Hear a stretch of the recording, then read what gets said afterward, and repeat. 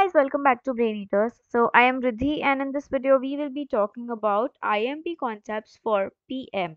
So guys जैसा कि आप सबको पता है कि ये एक ILOC सब्जेक्ट है इसीलिए हमने आपके लिए इस पर्टिकुलर सब्जेक्ट से 15 टू 16 मोस्ट इंपॉर्टेंट क्वेश्चंस निकाल के रखे हैं आपको ये क्वेश्चंस करने हैं also in this particular video I tell you कि आपको और ज़्यादा मटेरियल्स कहाँ से मिलेंगे ज़्यादा question and answer for better preparation etcetera etcetera so make sure आप पूरा वीडियो देखो talking about the IMP concept जो हमने आपके लिए निकाल के रखे हैं हम वो चार सेक्शंस में करेंगे जिसमें section one and section two will be very important so make sure you like prepare them thoroughly talking about section 1 let's check the first question what that is describe the five phases of IT project methodology second is explain various project scheduling techniques and also give a difference between CPM and PERT Next is explain work breakdown structure with example.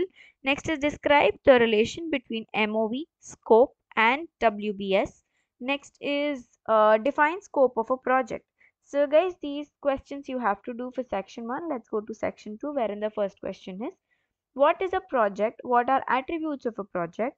Then the next question is suppose you are a project manager of a large software development project List three common risks that your project might suffer. Point down main important steps that you would follow effectively to manage the risks. Okay, and the last particular question for this section is explain the steps involved in terminating a project. So guys, these are the most important eight questions that you need to do for this particular subject.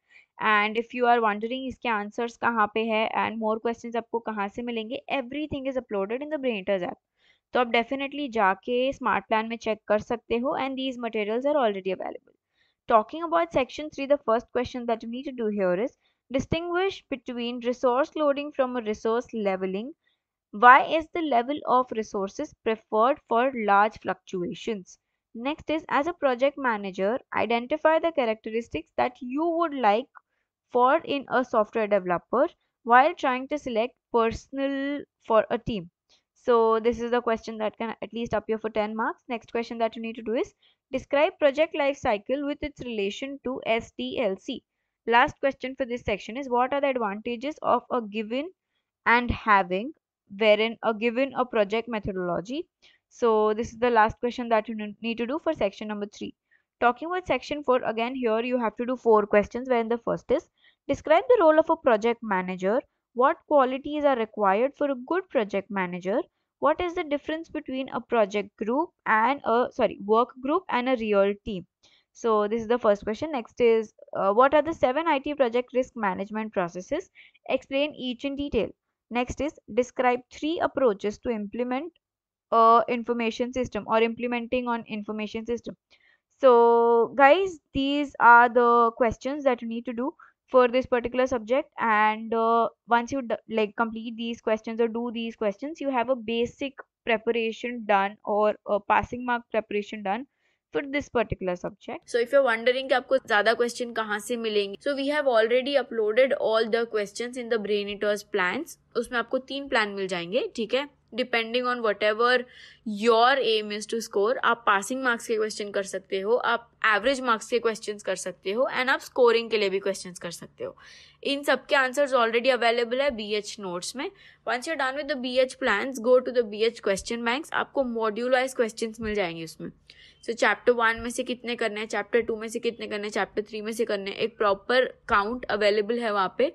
So you guess check that as well so अगर मैं आपको summary दूँ, अगर आपने कुछ भी नहीं पढ़ा है just go to the Brainiters app पहले प्लान्स करो, फिर क्वेश्चन बैंक्स करो you are good to go for the exam okay so you need not worry we have like covered each and every concept जो आपको करना है इसमें. And अगर आप एग्ज़ाम के एक रात पहले भी like if you are planning to finish everything up it is practically possible क्योंकि आपको ज़्यादा क्वेश्चन नहीं करना है. You just have to like smartly cover each and every concept that you have mentioned so i hope this solves your doubt for how to pass or score before like uh, ending up this video i would like to tell you अगर आपको कोई भी reference book की ज़रूरत हो या ऐसे कोई डाउट हो या मटेरियल्स uh, चाहिए हो you can can WhatsApp community are team is active twenty four seven आपको ड्राइव लिंक्स uh, फिर answers question bank viva question everything आपको मिल जाएगा व्हाट्सएप कम्युनिटी में।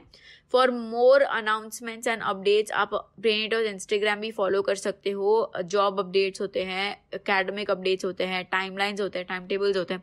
Every update is posted on Instagram so you can like follow us there as well you can stay connected to us on LinkedIn also if you are looking for any job और you are looking for any non technical internship our career page is definitely open for you all. I'm putting the link in the bio. You can check that up. You can apply and our team will get back to you okay so I guess this is it for this particular video और आपको अगर कोई और video चाहिए या कोई और doubt है, कोई और सब्जेक्ट का वीडियो चाहिए please comment down and I will try to make sure कि आपको सारे हाउ टू पास क्वेश्चन मिल जाए एंड आप इजीली फिगर कर सको ये सब्जेक्ट को कैसे क्लियर करना है even if it is one night prior okay so, yeah, i guess that's it for today's video and i'll see you in next one. Bye bye